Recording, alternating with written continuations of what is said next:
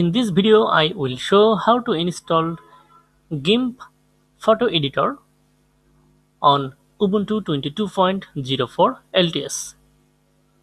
Let's get started by opening new terminal. At first, update the system with this command sudo apt update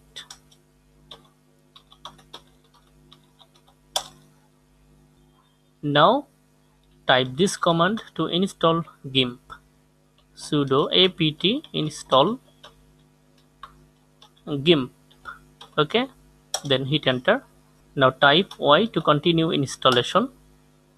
It may take a while for installing GIMP on Linux or Ubuntu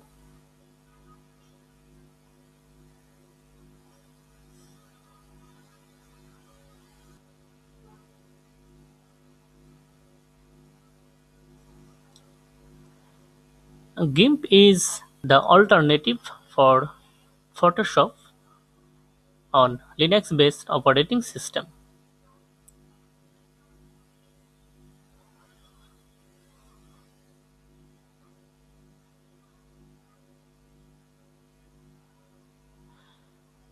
Okay, now search for GIMP.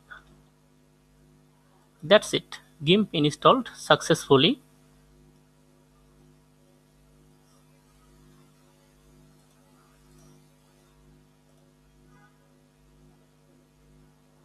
If you like this video, like, comment and share. Thank you so much for watching this video.